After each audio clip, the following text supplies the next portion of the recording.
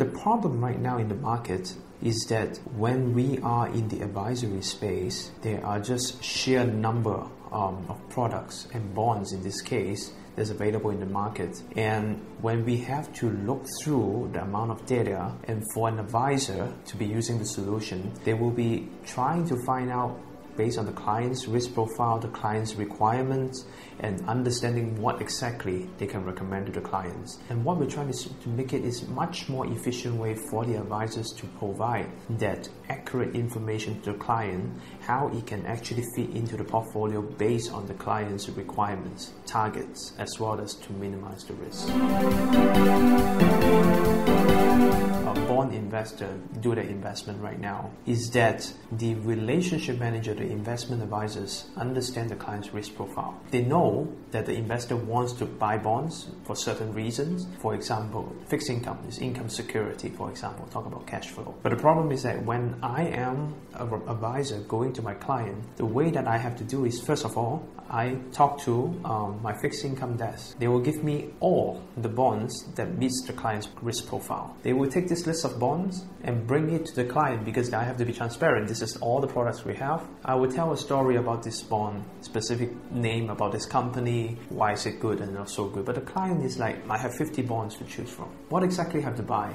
or what should I sell? It is a very lengthy process from the point of the advisors trying to get information from, from the product support down to explain to the client. And the client will come back to say, you know what? I, I don't want to buy certain products. Give me some time. I have to go through it. Or why don't you do it for me? What we are trying to do is to simplify the process whereby the product team, meaning the FICC or fixed income desk, is able to already gone through the research. The banks still have to run through the research, approve that list of bonds give them the rating. We are not taking job away. But in fact, we help them to say that this is your product. And I look at this product list, I look at the client's portfolio, a specific client portfolio, and on a click of a button, okay, we're talking about seconds, that I know which is the combination of your products from the bank that will fit the client's requirement if I want to achieve certain yield, reduce my risk, or basically to be able to deploy additional AUM into the fixed income category. And I can do it in seconds. And with a solution,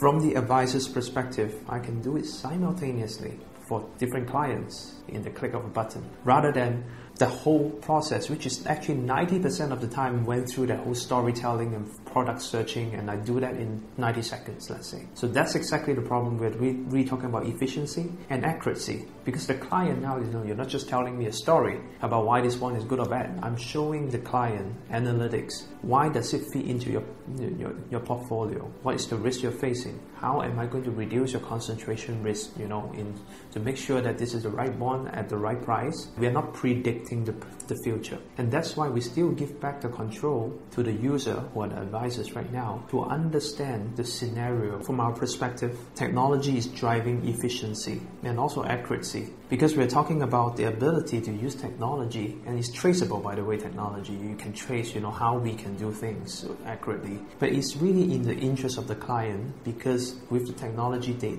that the advisor can actually manage many more of the client portfolio and fulfill the fiduciary duty, the suitability for the client in a way that is more statistical, more analytical, rather than based on trust. But we, we cannot take away that human touch. And it is important for the human touch because it's still a, a the relationship between the bankers and the clients is important because the trust has been established. And it's not just about investment when we're talking about the relationship, it's really about managing the financial health and life. In, in addition to the fact that we, we look at a facilitation and efficiency from the banking perspective for the advisors and also making the clients happy, the management of the bank itself also is now able to have a full overview of the client portfolios. Because in our space, in the fixed income or, or, bond investment, a lot of them is still being done in Excel in terms of reporting. Now they have a way to digitize and automate the process of aggregating the client portfolios, have a way for the management to understand that this is the risk that um, the bank is facing and what are my clients' risk that's facing and making